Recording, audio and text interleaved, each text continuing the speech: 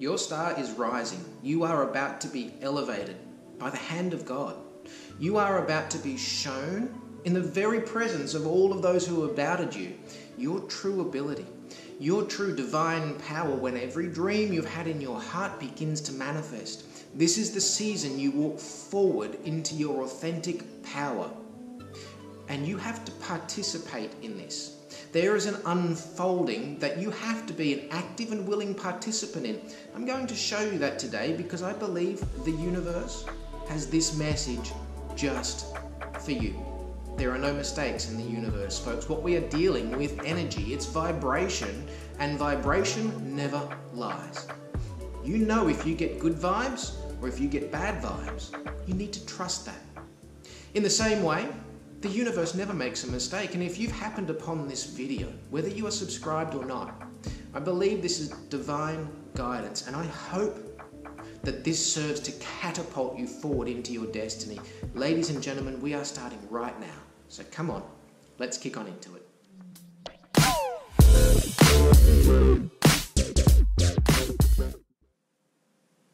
Well, hello, good looking. Welcome to Elevate. Thanks for stopping in. I love it when you come by for a visit, so I really hope that this encourages and uplifts you today. And if it's your first time, a special warm welcome to you from me and the whole family here. Why don't you subscribe? Join the community that we are building. I'm here every single day, I never miss a day. We talk about mindset coaching, things I learned studying for a degree. We talk about manifesting your best life, living your dreams, and actionable things that you can do today to see a result tomorrow. So make sure you subscribe because today I've got a message for you. God is about to prepare a table for you in the presence of your enemies. Every single person who has doubted you will stand in wonderment. Every person who has not believed in your dream, not believed in your intrinsic worth, every person who has ridiculed you, who has mocked you, has called you less than enough, they will be proven to be in the wrong. See, there's a scripture that says you're more than a conqueror, and you absolutely are. There is a scripture that says God plus you is a majority, and that is true because the power of Christ dwells within you. It is not external to you. The same things you have seen me do, you will do and more because I will be with you. It's in red letters. So, ladies and gentlemen, the message I have for you today is that it is time for you to step into your authentic power. It is time for you to rise up, to grab a hold of that dream, to stop spinning your wheels, and understand that where you are going matters. It is not going to not happen because the dream is tied to your purpose. There is a reason that you are here. And you can choose to move forward into that destiny. You don't have to. You can live your life however you want. But when you are in alignment with your highest self, when you resonate with your destiny and you move forward each and every day, just working on you, being focused on your inner work, being the best version of you that you could be, being good to people, being good to yourself. When you keep moving forward, you move forward into a destiny where the way is made straight for you and it's in operating in this destiny you find all of your gifts because it is true what I always say that it is your gift that makes way for you. When you operate in your gift, and it doesn't matter what that is, if you're a musician like I am, I'm a bass player that gift will make way for you. There is no way that I should ever have stood on stages around the world in front of thousands of people, been in recording studios and all sorts of things, playing bass guitar. No way. But it was my gift that made way for those opportunities. And as I decided to use my gift in service to my purpose and my calling, rather than just in service to myself, I didn't want to keep it just for me, just so I could say to people, hey, look, watch, watch me play this cool bass riff. Watch me play this solo. I didn't keep it for me, I shared it and used it. In the same way, if your gift is with children and you work in education, it is your gift that makes way for you.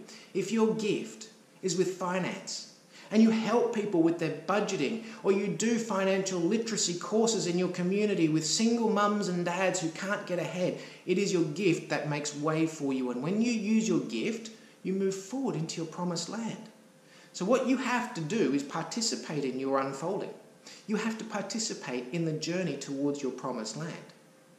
I'd love to share a scripture with you. One of my favourites of all time, the 23rd Psalm. Hands up if you know the 23rd Psalm.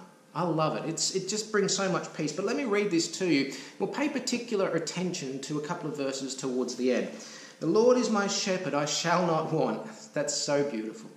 You know, when I first heard that when I was a young fella, I thought, if God's my shepherd, why do I not want him? Crazy how the mind works. The Lord is my shepherd, I shall not want. There is nothing that I need want for. He makes me to lie down in green pastures. He leads me beside still waters. He restoreth my soul. He leads me in paths of righteousness for his name's sake. Yea, though I walk through the valley of the shadow of death, I will fear no evil, for you are with me, your rod and your staff, they comfort me. Now listen to this the 23rd Psalm from verse 5. You prepare a table before me in the presence of my enemies. You anoint my head with oil, my cup runs over. Surely goodness and mercy will follow me for all of the days of my life, and I will dwell in the house of the Lord forever. Isn't there so much promise in that? It's a beautiful psalm.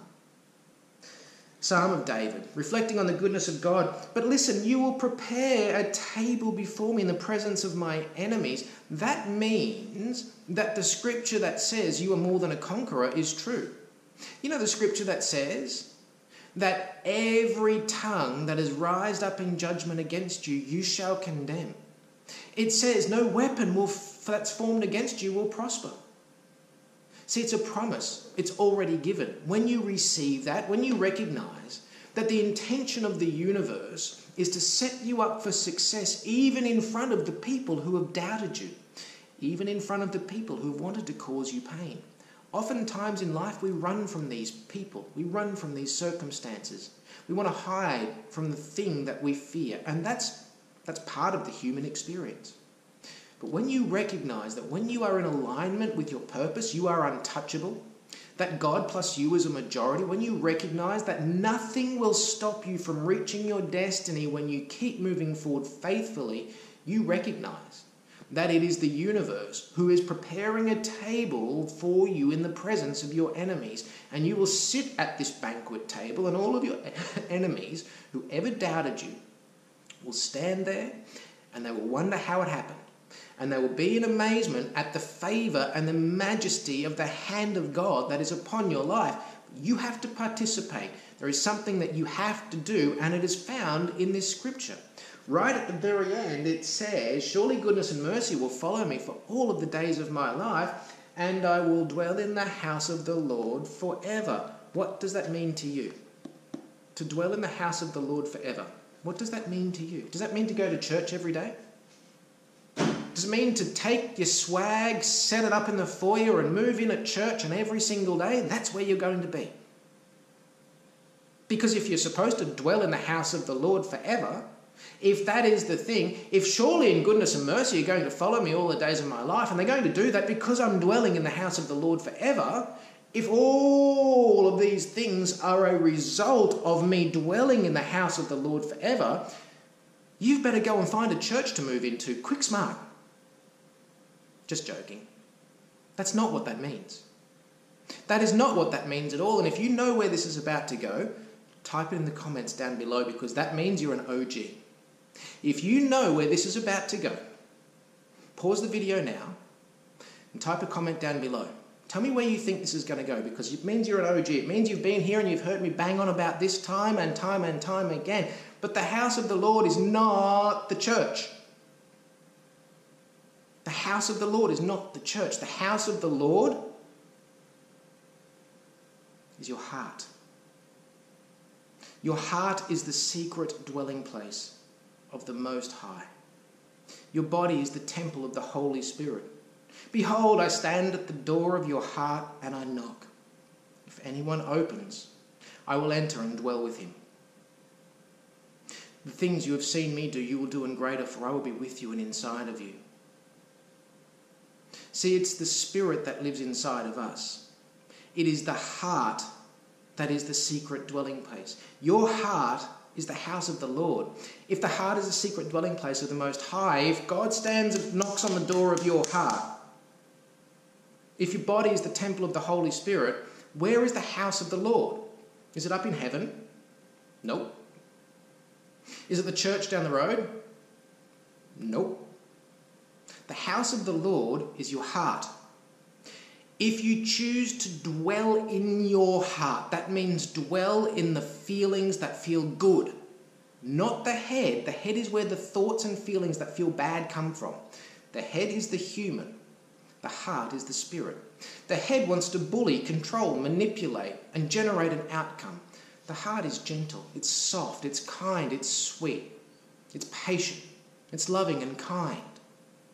See, when you dwell in your heart, that means that everything you do, think, say, all that you are comes from the foundation of dwelling in the heart. It comes from a foundation of love.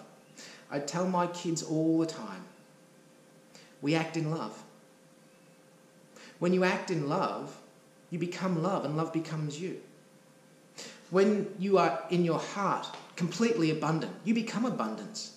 And then be abundance. It just shows up. It just shows up and it just becomes you. This is how it works. Nothing forms from thin air. You become it first. You become it by dwelling in the house of the Lord. Surely and good, surely goodness and mercy will follow you for all of the days of your life because of what? What is the reason that all of this good is actually happening? There's only one reason. We just read it. It's because you dwell in the house of the Lord forever. Not at the local church, not trying to climb a stairway to heaven, even though Led Zeppelin made a great song. Dwell in your heart. Dwell in and on that which feels acceptable to you. Dwell in and on thoughts that are worthy of you, that are worthy of your dream, that are worthy of the promise on the inside of you. Think about and thank about. Dwell only in things that move you forward.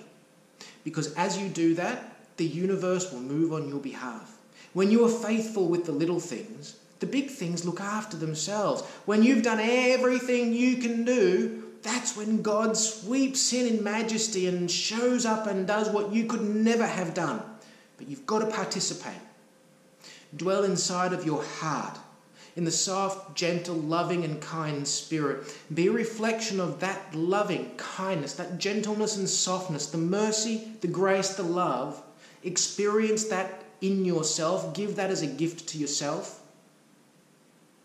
Freely as you have received, now freely you should give. Give it as a gift to everybody else, even those who don't deserve it. Even those who deserve the exact opposite of it, we should endeavour in life never ever to treat people as they deserve, but only ever to treat them as they are worth. When you treat people as they are worth, not as they deserve. When you treat yourself as you are worth, not as you deserve, that is when you move forward. If this blessed you, leave me a comment, let me know. Give it a thumbs up. Share the video with someone. Get some good karma for yourselves, folks. Pay this forward because you don't know what someone's going through. And the universe will put this in front of who needs to hear it. But if this was for you, let me know in the comments. Just tell me, Ben, this was for me. And I will make a comment back. I will join my energy with yours and stand and believe for you that this is the first day of the rest of your life. It gets better from here, folks. I promise.